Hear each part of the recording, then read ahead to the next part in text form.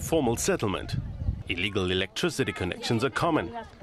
Cousin Zenzele Magai and Tamsanga Zungu and a friend Mfana Futi Langa were trying to tap into a power source. It so happens that the kids were going to fix the electricity.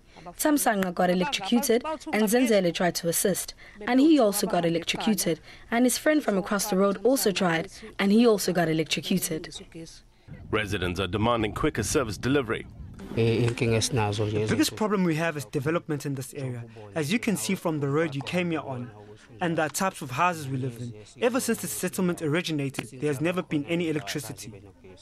Scores of irate residents took their protests to the streets. They must understand that uh, we've got 500 informal settlements in eThekwini Metro, and all of these informal settlements they need to be electrified, and therefore we've started the program of electrifying informal settlement, and their turn is coming as well.